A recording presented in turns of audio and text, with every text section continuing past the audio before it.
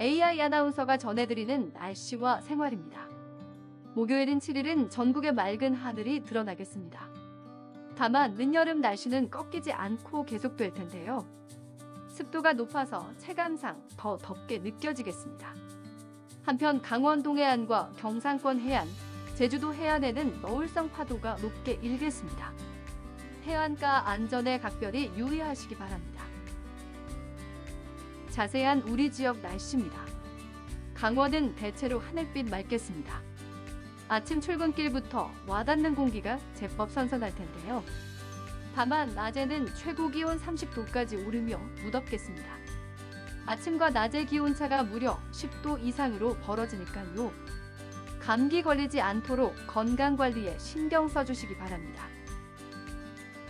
강원 아침 최저 기온은 속초와 강릉 18도에 분포합니다.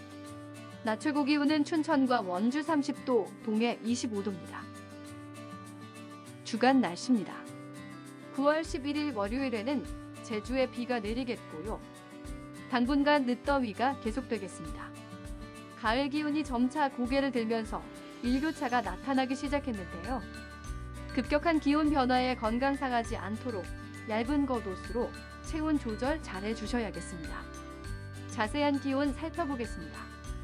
9월 8일 금요일부터 9월 12일 화요일까지 아침 기온이 17도에서 24도에 분포하겠고요.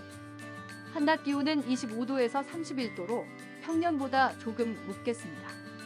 우리나라 주변 기압계의 흐름에 따라 예보가 변경될 가능성이 있으니 앞으로 발표되는 최신 예보를 참고하시기 바랍니다.